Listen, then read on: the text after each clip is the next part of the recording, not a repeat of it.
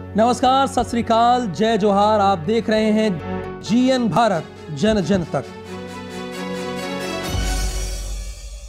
बजरंगी भाईजान की मुन्नी को महाराष्ट्र सरकार से मिला प्रतिष्ठित भारत रत्न डॉक्टर अंबेडकर अवार्ड। सलमान खान की सुपरहिट फ़िल्म बजरंगी भाईजान में नन्ही बच्ची मुन्नी का किरदार निभाने वाली अदाकारा हर्षाली मल्होत्रा को महाराष्ट्र सरकार की तरफ़ से प्रतिष्ठित भारत रत्न डॉक्टर अंबेडकर अवार्ड से सम्मानित किया गया है। यह अवार्ड हर्षाली को महाराष्ट्र के राज्यपाल भगत सिंह कोश्यारी ने दिया।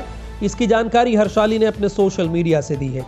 उन्होंने लिखा है कि भारत रत्न डॉक्टर अंबेडकर अवार्ड से सम्मानित होकर गौरवान्वित महसूस कर रही हूँ। हर्षाली मल्होत्रा को उनकी इस उपलब्धि के लिए उनके तमाम चाहने वाले उन्हें बधाई दे रहे हैं। फ़िल्म बजरंगी भाईजान में मुन्नी का किरदार निभाकर मशहूर हुई हर्षाली मल्होत्रा ने इस फ़िल्म से अपने शानदार अभिनय से हर किसी का दिल जीत लिया था। फ़िल्म बजरंगी भाईजान के अलावा हर्षाली टेलीविज़न जगत की कई धारावाहिकों में भी नज़र आ चुकी हैं, जिनमें धारावाहिक कबूल है और लॉट और त्रिशा शामिल है।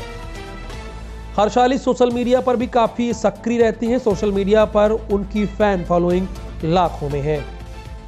अपने राज्य से जुड़ी हर ताज़ा खबरों के लिए आप हमें सब्सक्राइब करें साथ ही बेल आइकन बटन दबाना ना भूलें।